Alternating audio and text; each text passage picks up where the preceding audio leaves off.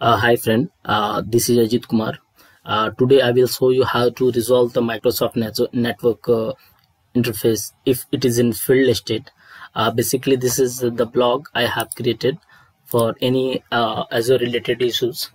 So while troubleshooting in one of the VM, we have found that the network interface was in failed state, which is basically basically causing the the VM was not accessible.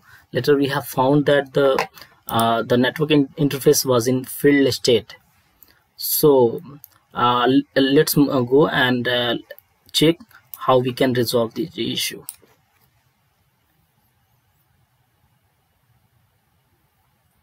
So you have to go to the resources.azure.com first of all. After that, you will uh, you will have to uh, select the uh, tenant name uh, from this drop down. Okay. After that you have to choose the uh, right read and write so that we can edit the json file. In the read only mode you can only view the json file only. And the read, read and write you can modify the json file. So i have to go to the resource subscription and expand that. Later you can see the resource group and the providers. In the drop down you can found the Microsoft Compute, Microsoft Network and many more component will be available there. So in our case we have to uh, go to the net, uh, Microsoft Network and the network interfaces and select the that network interface which is in failed state basically after that you will be found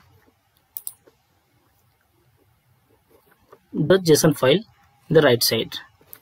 Uh, and uh, the uh, basically the uh, the provisioning state of the, that network interface would be in the failed state. Okay?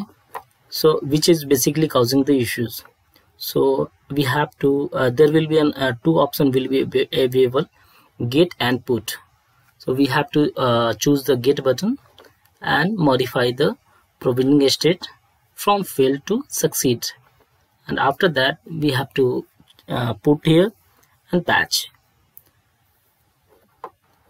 Later you can go to the uh, azure portal and refresh that uh, network interface. There will no longer uh, issue will be available there. You can try to rdp to that vm it will resolve that issue thank you so much. Eh, you can also visit my blog to detail analysis. Thank you so much